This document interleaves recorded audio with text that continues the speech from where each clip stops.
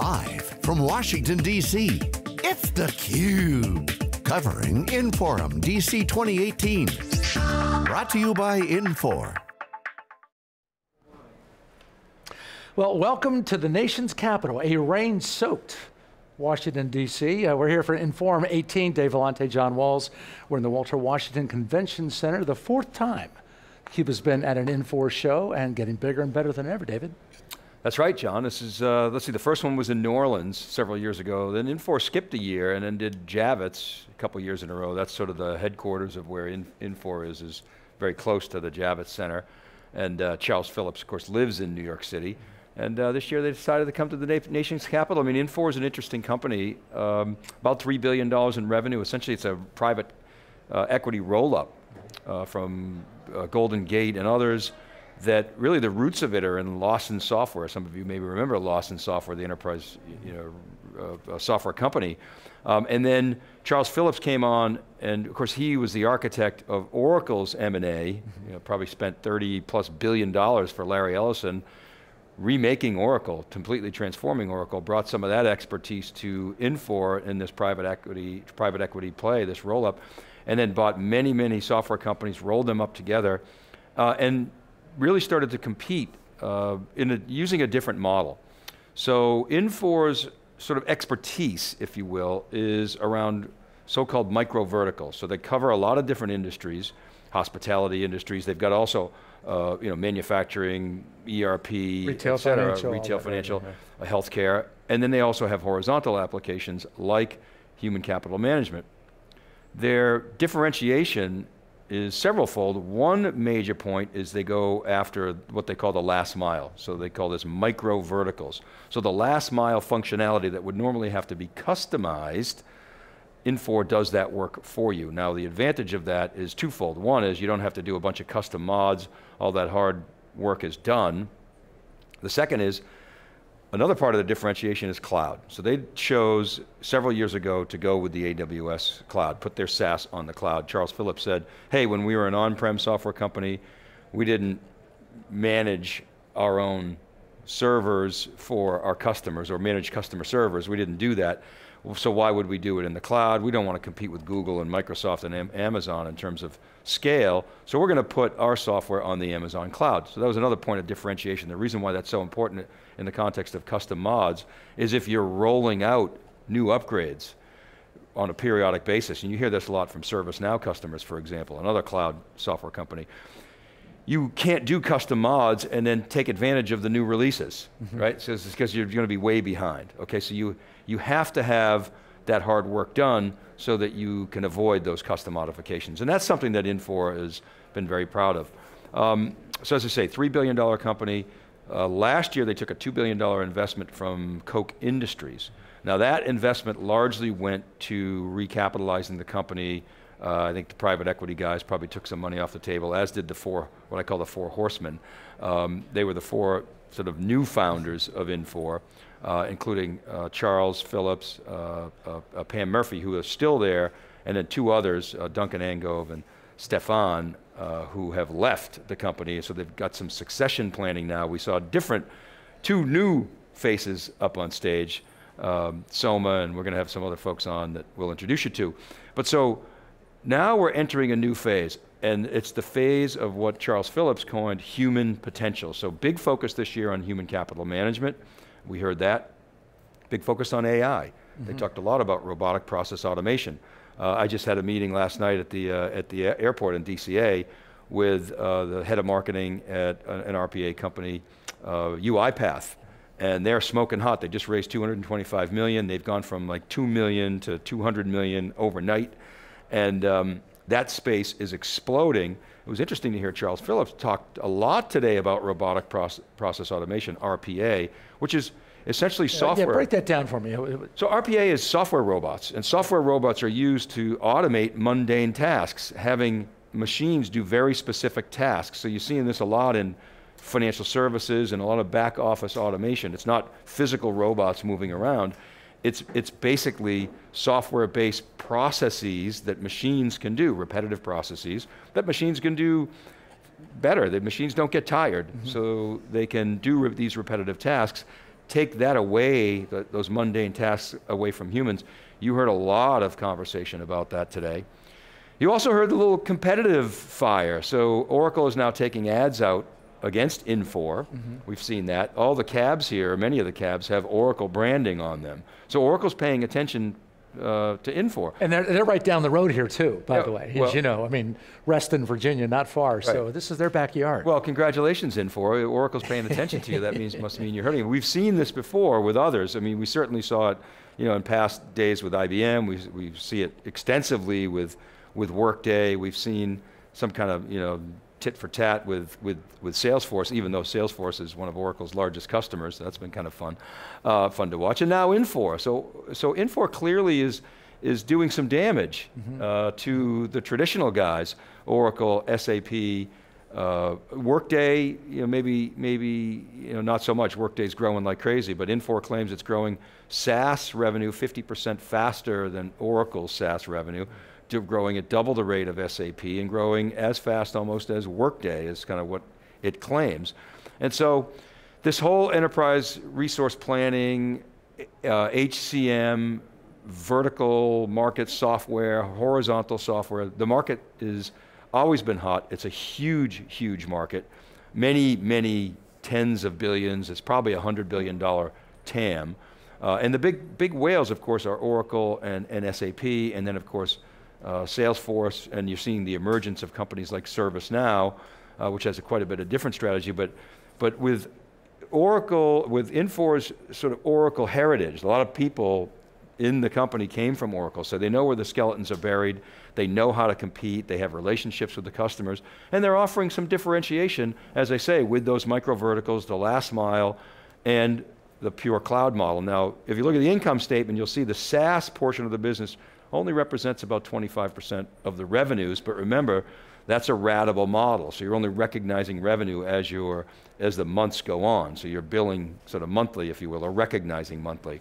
And so as a result, it skews and dampens the effect of the SaaS software. I think from a booking standpoint, it's probably a much higher proportion of bookings. I would guess closer to to 50%. As I said, they took $2 billion last year from Koch Industries. That $2 billion didn't really hit the balance sheet. They got about 330 million on the balance sheet. And they have a lot of debt because they, you know, did, you know, it was a private equity, you know, leverage deal. Uh, they did a lot of acquisitions, so they probably got about 5.7 million dollars, a uh, billion dollars of what they call net debt, which presumably is debt after cash. Mm -hmm. So I would guess close to $6 billion in debt.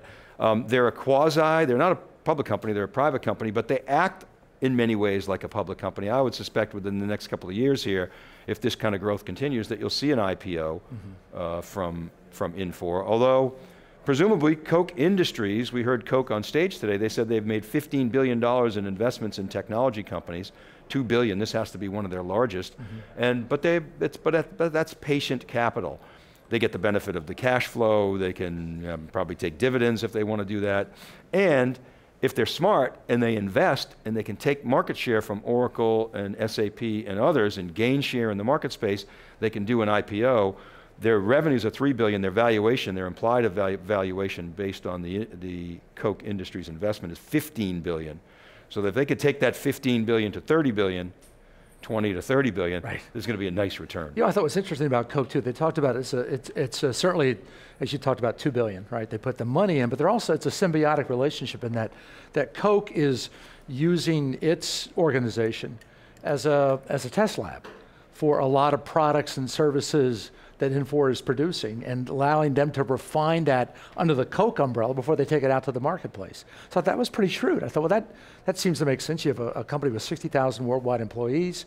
You're in dozens of countries. You have a chance to, to let them take uh, their products to scale in maybe a somewhat more friendly or controlled environment before you take it out to the marketplace. That seems to make a lot of sense. Yeah, we heard the CIO of Koch Industries today, and I talked to him last year. Talking about some of the technical debt that they had, again, going back to those custom modifications that I was talking about earlier, um, they were in this terrible virtuous cycle, almost a negative virtuous cycle, where they had so many custom mods that they couldn't make changes. So the, the applications were becoming fossilized. So they were becoming non-competitive. And that's the last thing that a line of business wants to hear is, hey, we can't make the changes Right? IT says, no, we can't touch the code, it's working, or changes take too long, they take months or sometimes years uh, to, to get to a major release. And so as a result, Koch was looking for ways to simplify its, its application portfolio and its application infrastructure. The other thing that Koch Industries has brought is, it, it, you might notice on the show floor here, you see Accenture, you see Deloitte, you're seeing Grant Thornton. Now these guys weren't really going after or going hard after the Infor base before. I think a company like Coke Industries does a lot of business with these SIs. And so I think Koch has introduced the SIs to the Infor opportunity and maybe nudged them a little bit and say, hey, as a big you know, supplier to us, we're a big customer of yours, we want you to pay attention to that opportunity and in earnest go look at ways to partner with Infor. And that's happened. My intelligence suggests that there are many multi-million dollar deals that are being catalyzed by these big SIs, and they do a ton of business with SAP and Oracle. So that's another positive and a tailwind that Koch Industries, I think, has brought to the table. All right. You mentioned human potential, which is the, really the overarching theme of the show here this week. Uh, again, we're here in Washington, D.C. I was just listening to Van Jones from CNN, uh, one of their uh, anchors and a political contributor, talking about that as his personal mantra, but certainly that intersects with, with what Infor is talking about in terms of unlocking human potential and using technology to, to do that.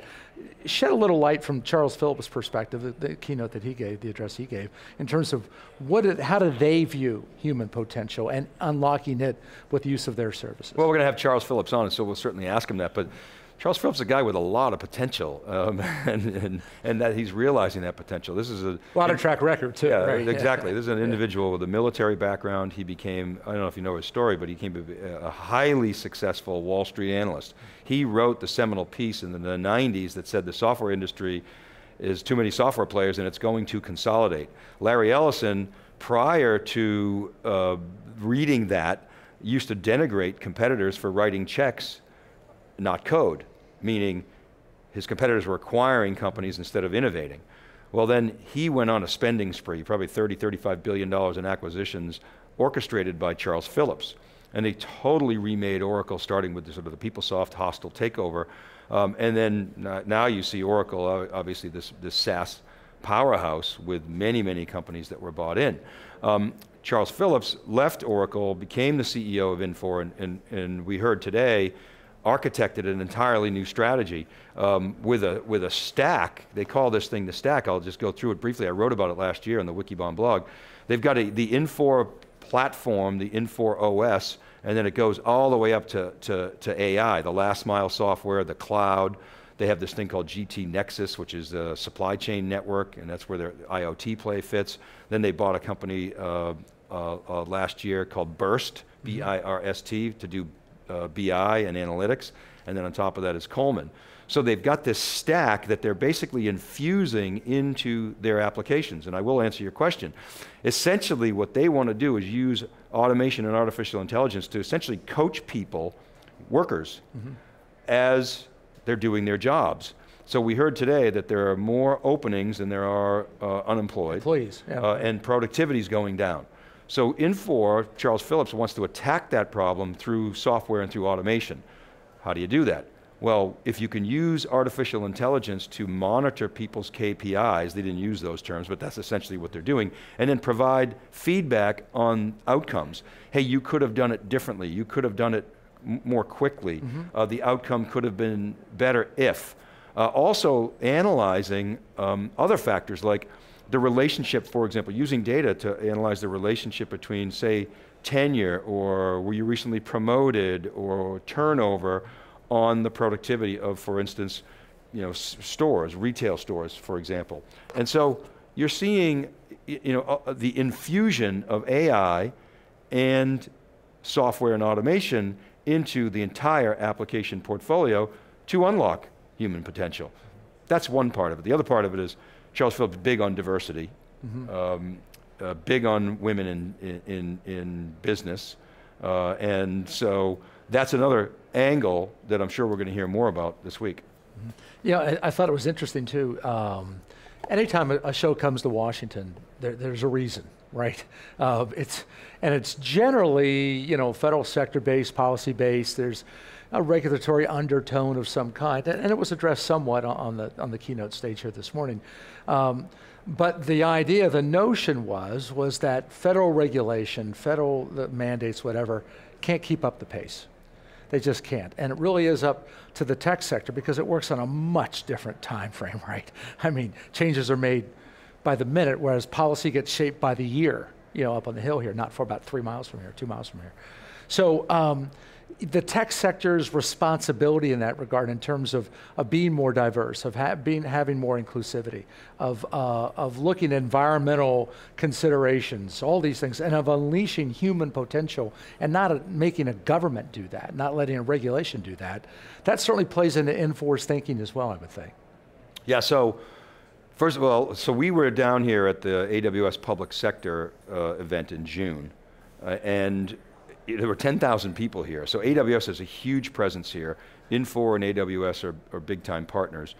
And remember, the CIA was the first deal, first cloud deal that AWS did. They won, IBM contested it. Uh, the judge eviscerated IBM in his ruling, uh, basically saying they were gaming the system, they were misinterpreting, purposefully misinterpreting uh, the RFP. Amazon won hands down. It was a huge victory for Amazon forced IBM to go out and capitulate and purchase SoftLayer for $2 billion. I, I believe that, that that only helps a company like Infor who has decided to be all public cloud with AWS and, and, and drafting off of AWS's uh, deep ties to various government agencies in the GovCloud. So for instance, AWS was first with FedRAMP, uh, first with a lot of different um, uh, uh, certifications and security hurdles. And so Infor can just draft off of that.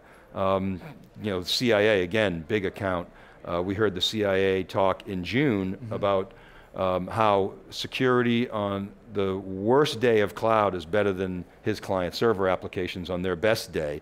And so I, I suspect Infor's doing business with the CIA, although you know, that's not come out publicly, but I would think that there's an advantage that Infor has because of that AWS relationship, and that makes DC all the much more important for them. Well, we are at Inforum 18. We have a full two days of scheduling uh, for you. Great guests coming up here on theCUBE. I'm with Dave Vellante, I'm John Walls. We'll continue here on theCUBE live from DC right after this break.